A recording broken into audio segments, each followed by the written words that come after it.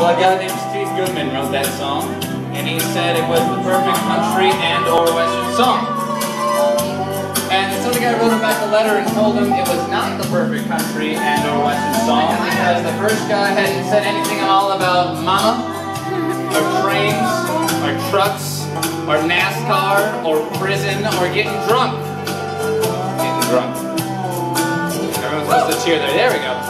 So the first guy sat down and wrote another verse of that song and he sent it to the other guy. And after reading it, the second guy realized that his friend had written the perfect country and or western song. And I felt obliged to include it on karaoke tonight. The last verse goes like this here. Well, I'm just drunk. The day